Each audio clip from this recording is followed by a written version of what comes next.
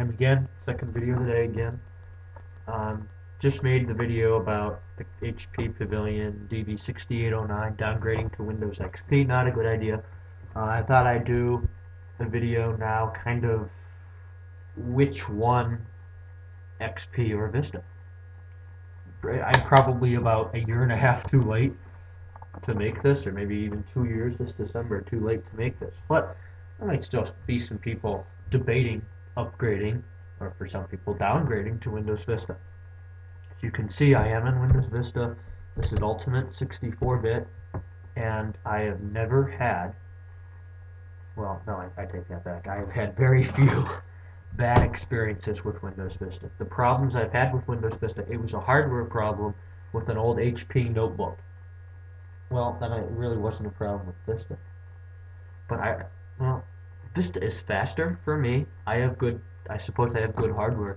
Don't run Vista on less than 2 gig of RAM. Don't, don't do it. Don't run Vista on, if you have a solo core processor, which means just one um, physical or logical processor, don't run it on less than 1 point, well, probably 1.7 gigahertz or 1.6. If it's a tablet, you can you can lower that. Uh, if you've got a, a, a uh, dual core or a quad core or anything bigger than that, that means you have two or four or more logical processors. Then you want to have each core being at least 1.2 gigahertz to get it to get about 2.4 2.4 gigahertz. Anyway, so with that, uh, you want to have about 40 gig of hard drive space, 20, 32 gig, you know, whatever. As long as it's over 20, you're fine, depending on what you keep on. But anyways, XP is not a bad operating system, and neither is Vista. The, the, oh, oh, Vista crashes all the time. No, it doesn't. It, it doesn't. Unless you're trying to run software on it that it's not meant to run. Oh, that's everything, though. No, no, it's not. Not anymore. XP was the same way when it came out, guys. You, you can't give you can't give Vista crap because uh, when it came out, nothing was compatible. And, well, if you remember, XP was the same way. Probably not 2000. It was all still in little gray block format, even though that has nothing to do with it.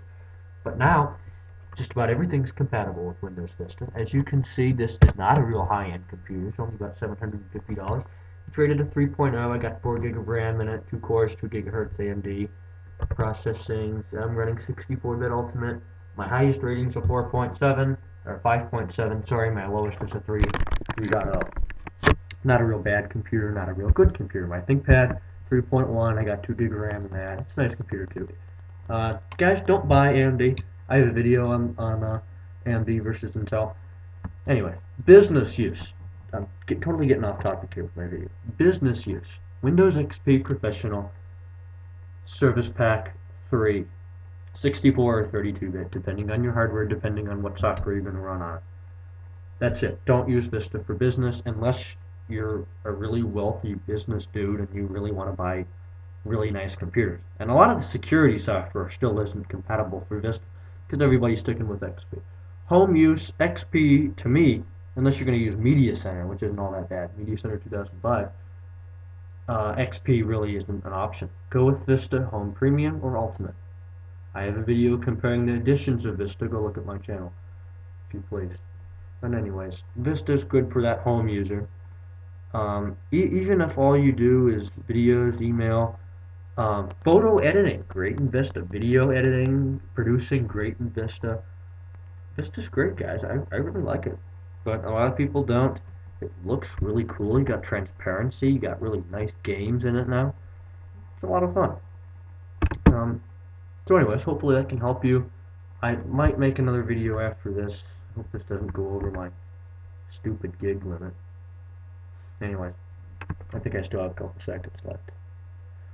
But Windows XP, again, not bad.